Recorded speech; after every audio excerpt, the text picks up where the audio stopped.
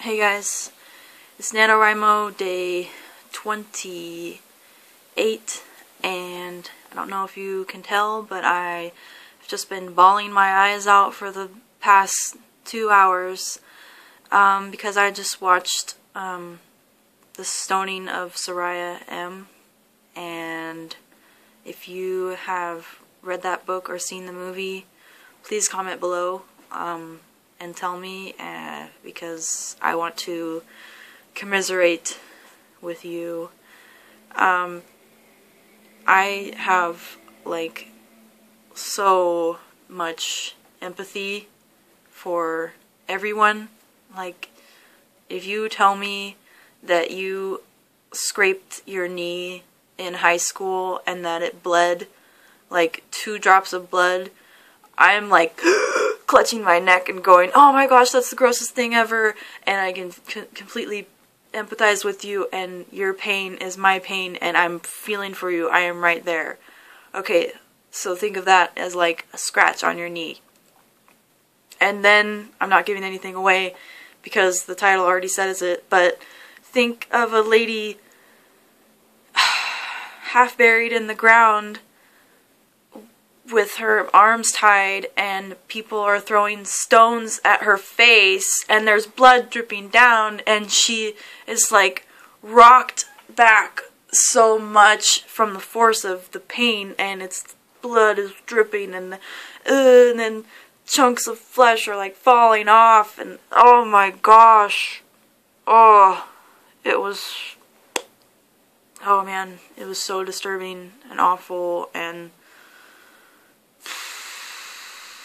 So that's my mood right now. Super depressed and um, just, I don't know. I just really, really feel strongly whenever I'm reading something or watching something or listening to something. And I know that's one of the things that makes us human and should be celebrated, but it can also be one of the darkest places to be in. It's just that state. Oh man. Emotions, feelings, ah! Anyways, um, another disturbing movie I watched um, was Irreversible, which was a French movie and this is a bit of trivia about me. If you ask me what's the most disturbing movie um, I've ever watched, I would say Irreversible. And I watched it um, like four years ago when I lived in the dorms with my boyfriend, and um, both of us, we didn't even get 20 minutes into the movie. I don't know if you know anything about that movie, but it is awful.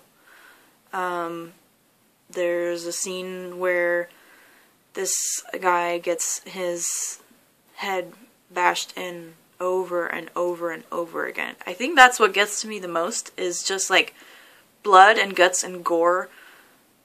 First of all, for no reason at all, and second of all, just like the repeated motion of, oh, please stop, God, why? Ah, oh, the pain! And then the other one is a um, man raping a woman um, in the buttocks, which is where I started breaking down crying and we had to stop the movie. So I don't even know what else happens in that movie and I don't care to know. I'm surprised I even got through this one. Um, just, I mean, like, if you've seen Passion of the Christ, where just horrible, horrible, really real kind of stuff.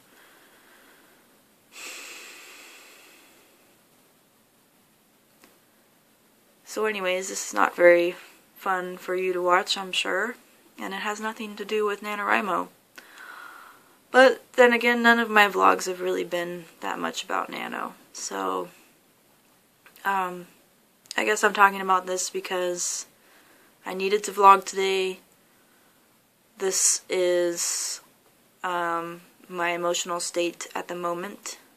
And um, I'm also just as passionate about movies as I am about books. So it means a lot to me.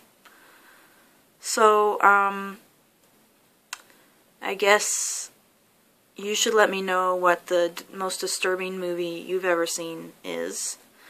And let's tie this in with writing. Have have you been able to um, take anything away from it and use that um, in your in your stories or your writing?